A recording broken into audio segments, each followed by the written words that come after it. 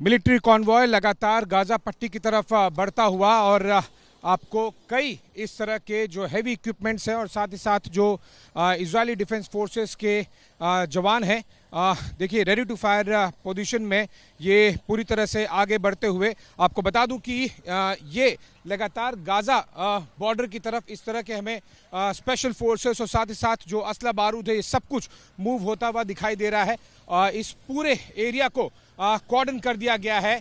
आ, Gaza के पास के जितने भी आ, बड़े शहर है ओके आई थिंक फायरिंग हुई है और आपको दिखाई देगा सब लोगों को सब लोगों को यहाँ पर शेल्टर लेने के लिए कहा गया है। हमें भी चलेंगे। मान मान run run run run okay firing हो गई है। ये देखिए रॉकेट रॉकेट्स कैमरामैन मान आपको दिखाएँगे कि जल्दी कम कम रॉकेट्स फायर किए जा रहे हैं और हमें इसराइली फोर्सेस के साथ में यहाँ पर झुकने के लिए कह दिया गया है।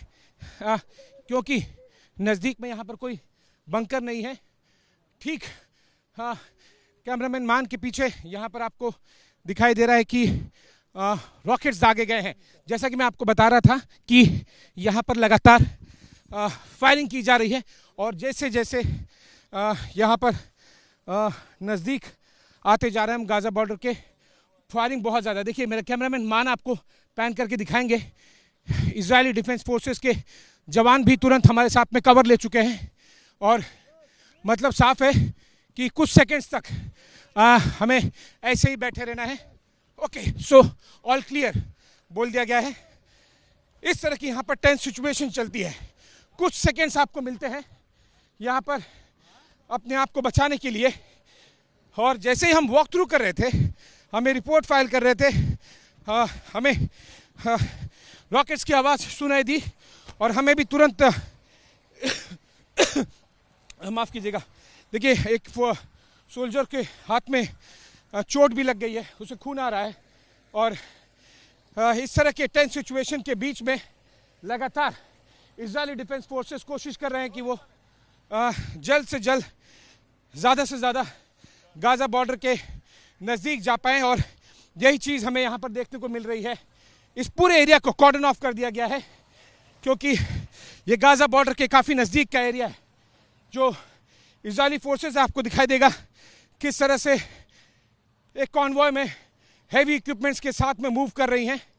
जैसे ही वो मूव कर रहे थे, इस चेक पॉइंट पर पहुँचे, हम अपनी रिपोर्ट फ़ाइल कर रहे थे और तभी रॉकेट मेरी बाएँ दिशा से आया और हवा में आयन डोम ने उसे न्यूट्रलाइज किया।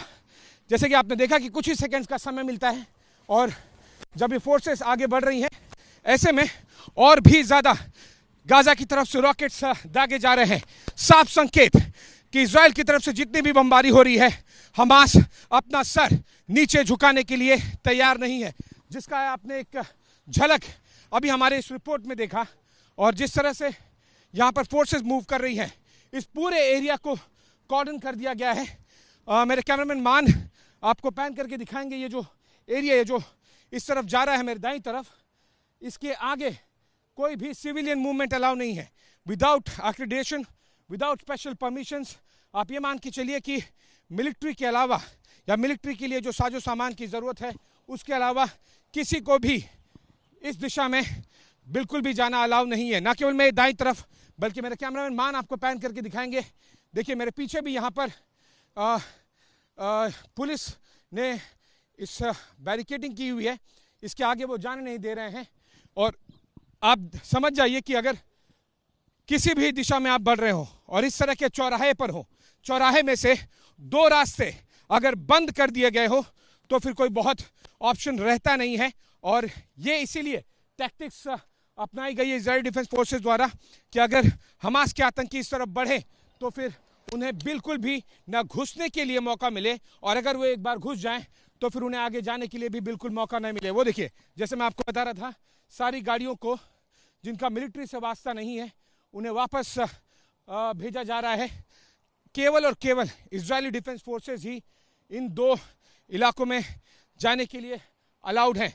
मेरी दाएँ तरफ़ और मेरे पीछे बहुत ही ज़्यादा टेंस सिचुएशन है और आपने देखा कि कुछ ही सेकंड्स का समय मिलता है, यानी मतलब साफ़ है कि हमास अब भी लगातार फायरिंग कर रहा है।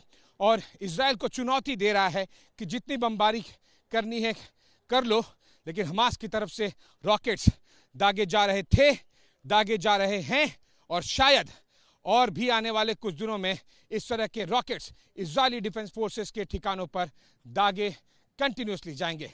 कैमरामैन मान के साथ मैं आशीष सिंह, गाजा बॉर्डर के पास से।